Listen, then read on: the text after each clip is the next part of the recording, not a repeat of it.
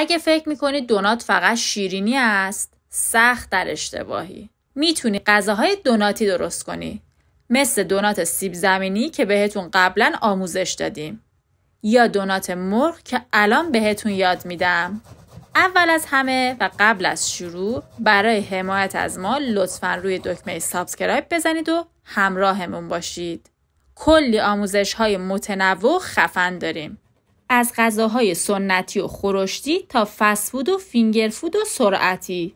خب برای داشتن یه دونات مرغ خوشگل دو تا دونه نون توست رو با شیر ترکیب کنید تا نرم بشه.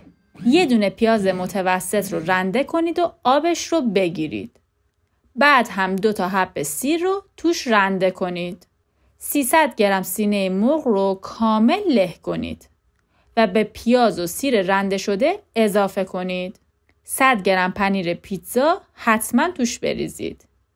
نون توست نرم شده با شیر رو هم اضافه کنید و با ادویه حسابی ورز بدین.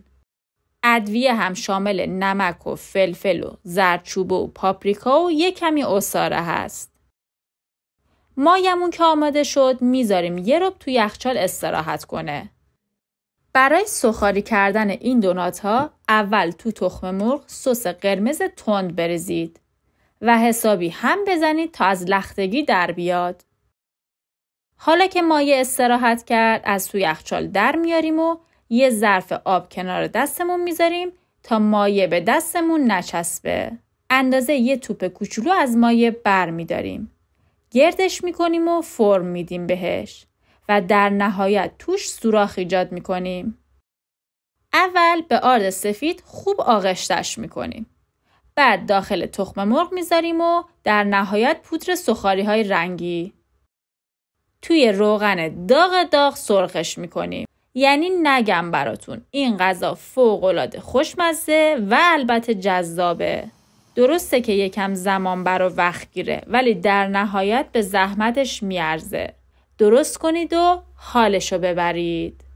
راستی لینک غذاهای مشابه رو براتون توی description می‌ذارم. حتما نگاه کنید و save ش کنید. تا بعدا درستشون کنید.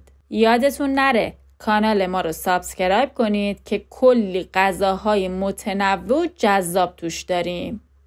مرسی از همتون.